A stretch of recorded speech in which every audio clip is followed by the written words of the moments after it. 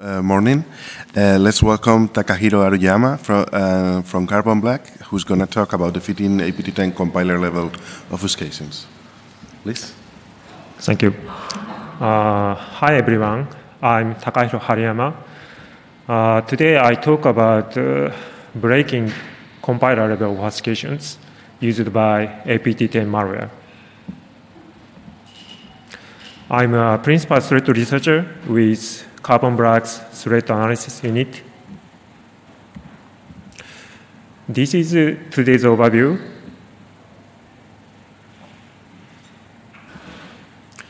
First, I explain my motivation and approach.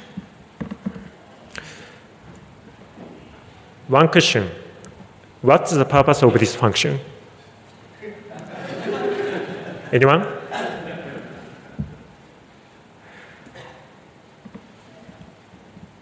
This function just returns a value. So what are other statements for?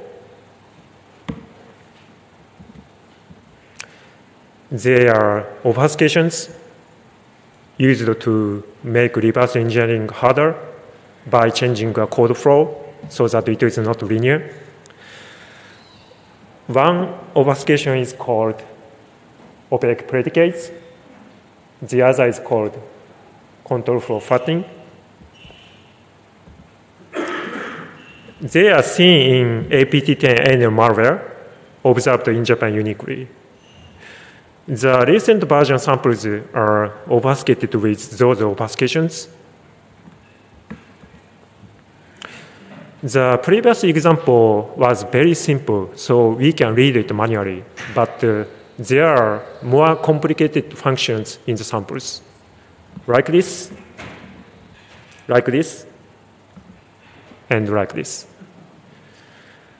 The manual analysis for those obfuscations is uh, painful and time consuming. So we need an automated obfuscation method. My motivation is to automate ANEL code obfuscations the obfuscations looked similar to the ones described in Hex-Rays' blog, but uh, the introduced plugin HexRaysDeob didn't work because it was made for another variant of the obfuscations. So I investigated uh, the causes, then modified the plugin to work for ANEL samples. Now I demonstrate the tool.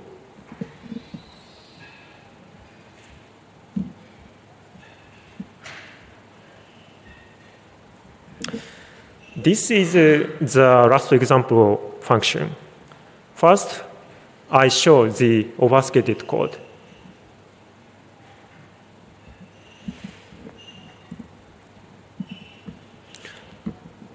Uh, can you see the code?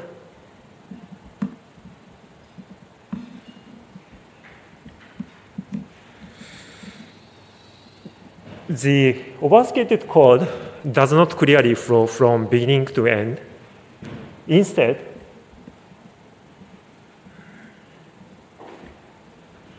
it has uh, a nested loop structure having multiple flattened code blocks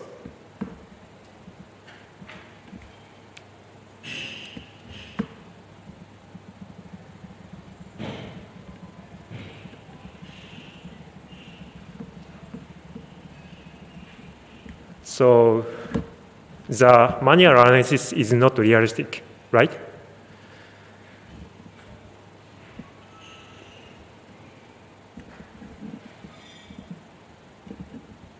By using the tool, after the deobfuscations, the code becomes straightforward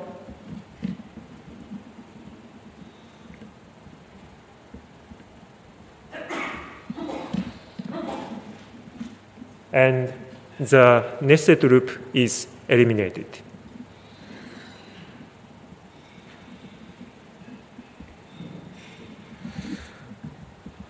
Let's get back to the slides.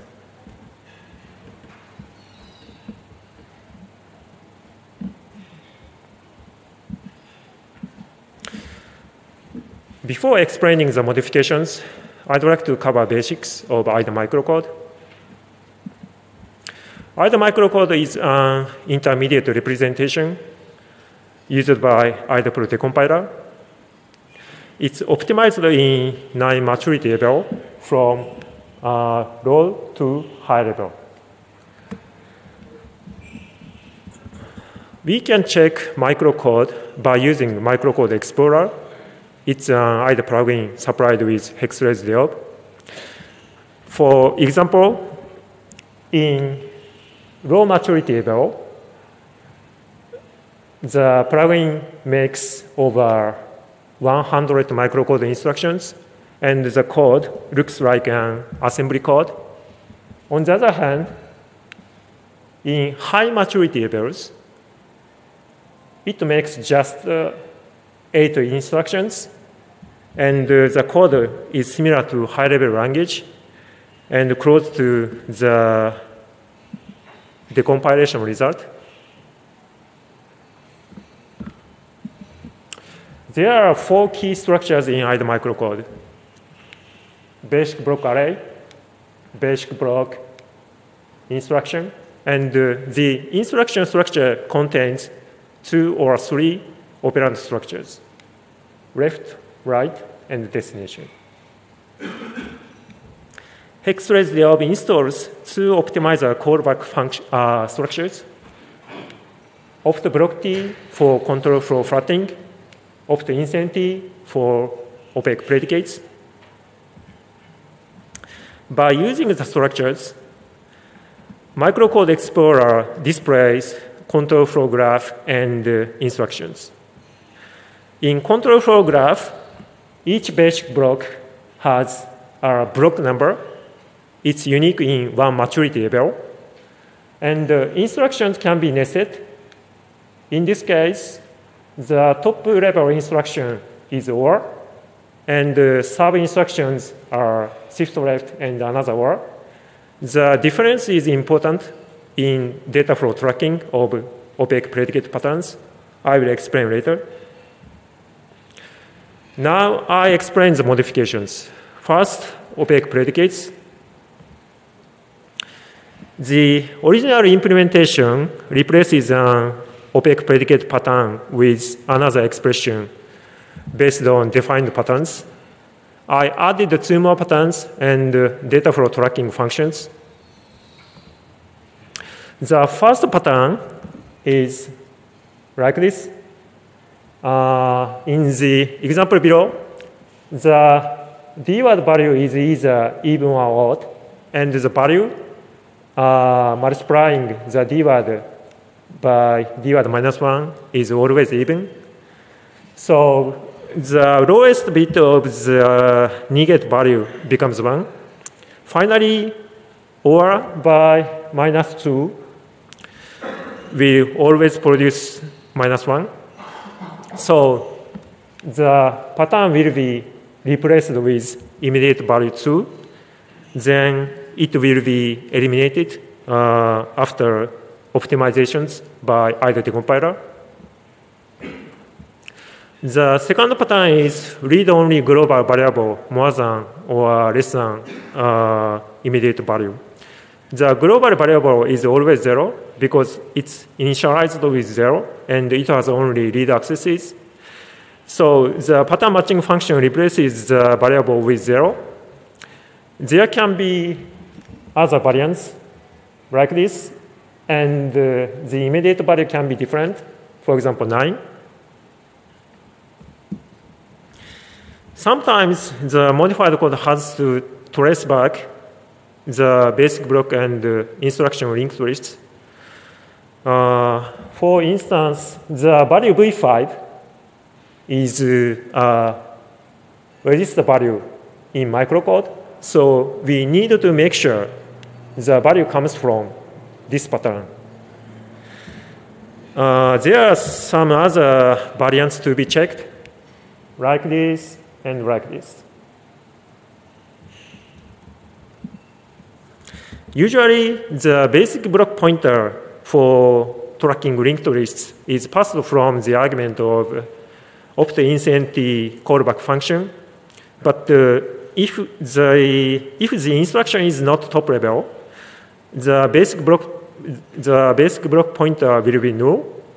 Uh, so the modified code traces from top level function, then passes the basic block pointer to sub instructions. The second modification is related to control flow flattening. I'd like to cover some key points of control flow flattening quickly. Normally, a function obfuscated with control flow flattening has a loop structure starting with the yellow colored control flow dispatcher shown after the first block. The original code is separated into the orange colored first block and green colored flattened blocks. Our mission for the obfuscation is to resolve the correct next block for each one, then change the destination. Specifically, we have to find an immediate value called block comparison variable. It's assigned to a specific register in first block or flattened blocks, EX in this case, then compared in a loop uh, to decide the next block to be executed. The unflattening code also has to translate the block comparison variables into actual block numbers There are three main modifications for control flow flattening. I explain each modification from the next slide. The first modification is uh, unflattening in multiple maturity levels. The original implementation works in MMAT_LOCOPT maturity level due to another obfuscation technique. But uh, I had to unflatten the ANEL code in later maturity levels because the block comparison variables heavily depend, depend on opaque predicate conditions. Uh, for example, V3 is uh, assigned to block comparison variable, and V3 depends on opaque predicate conditions. So once opaque predicates are broken in greater maturity levels, the loop, be, loop becomes much simpler. However, unflattening in later maturity levels makes another problem in block number translation.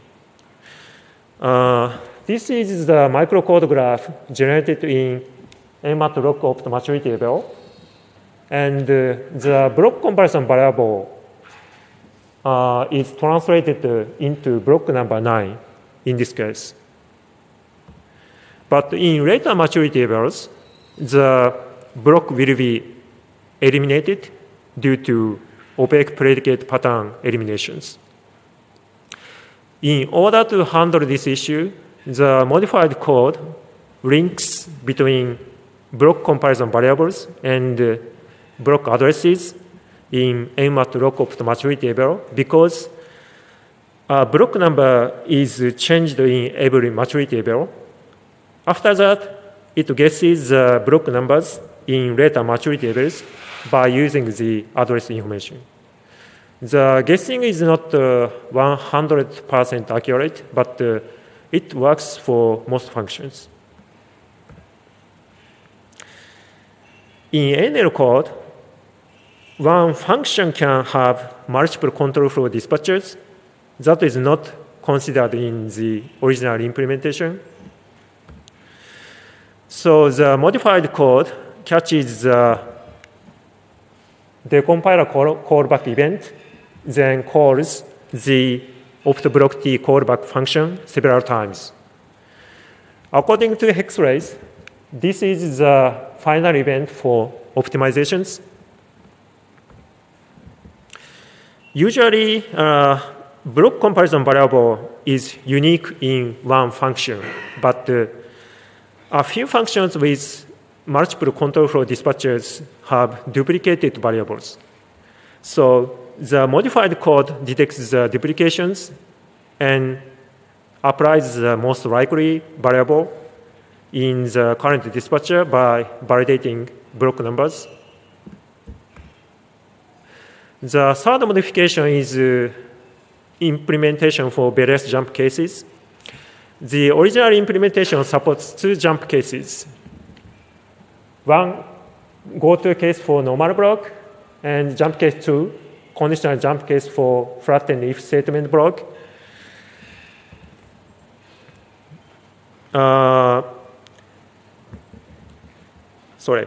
If the next block number is resolved, the control flow graph and the destination of a jump instruction are updated. For example, in jump case 2, uh, block comparison variable is searched in each block, uh, end with JCC and non-JCC, then uh, change the destination while appending the dispatcher predecessor code to non-JCC's tail. I newly added three more jump cases. Jump case 3, go to any predecessor's case. Jump case 4, 2 and 3 combination.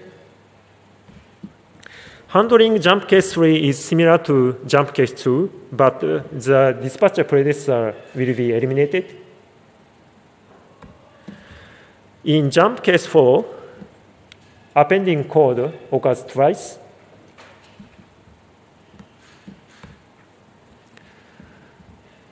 The jump case 5 that uh, added uh, is a little, little bit tricky.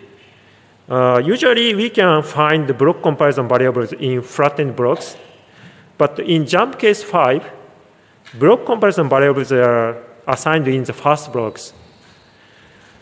Uh, for instance, EDI is assigned to ESI, and ESI is the block comparison variable in this case.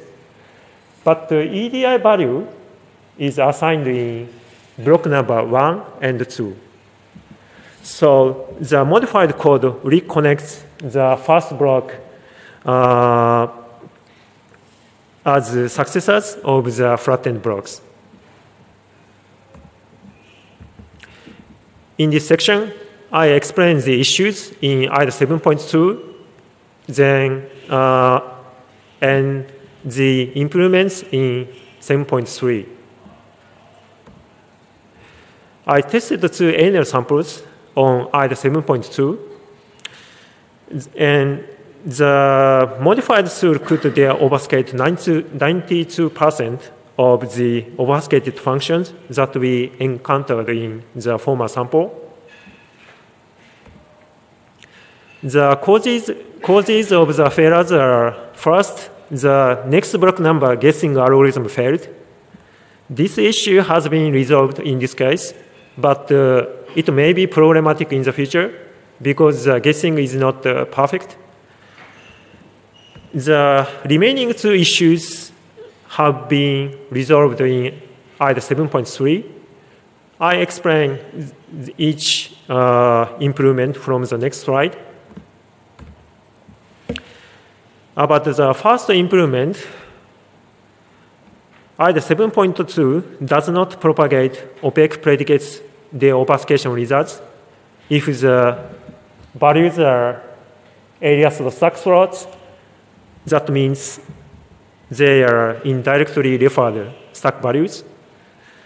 Uh, for instance, this condition is always true, and uh, V2 value is always this value, and it's signed. So this code block is never executed, but uh, it still remains uh, because opaque predicate is not broken in 7.2. But uh, in 7.3, the code block is uh, eliminated. The second improvement is uh, handling a conditional jump of uh, a dispatcher predecessor. Actually, all jump cases can be conditional, and two to four jump cases require a basic block duplication I explain why in later slides. IDA 7.2 does not allow it, but uh, 7.3 provides the option. Specifically, this flag. The modified code clears the flag then uses uh, insert block API to make an empty basic block. After that, uh, it copies instructions and other information. The API usage updates some block numbers related to the exit block. So it, the code also adjusts destinations of the blocks passing a control to the exit block. In conditional jump case 2, non-JCC and the dispatcher predecessor have different block types. So we can't uh, append the dispatcher predecessor code to non-JCC's tail. Instead, copy the basic block and about the false case block, the false case block number should be the condition block number plus one. So the first case block uh, will be copied as well. Conditional jump case 3 can be handled in the same way, but the predecessors can be conditional too. In that case, the dispatcher should be copied if the tail instruction is not a conditional jump. The conditional jump case 4 is the most complicated, but uh, I've not seen the case in the samples. I think it's a rare case, but uh, if control flow unflattening fails, some code blocks will be lost. In this case, please run plugin with specific value. Then the plugin deobfuscates only opaque predicates and recovers the lost code blocks uh, due to the failure. I wrap up my presentation. The compiler level obfuscations such as opaque predicates and control flow flattening are starting to be observed in the world. The manual analysis is not realistic, so the automated deobfuscation is needed. The modified code of deob is available publicly, and it works for almost every obfuscated function of APT10 ANEL samples on IDA 7.3, except the next block number guessing algorithm failure case. For this research, I'd like to appreciate Hex-Rays patient support and the original two rows are Rolf Rolles. Last but not least, uh, TAU team members, especially Jared and Brian.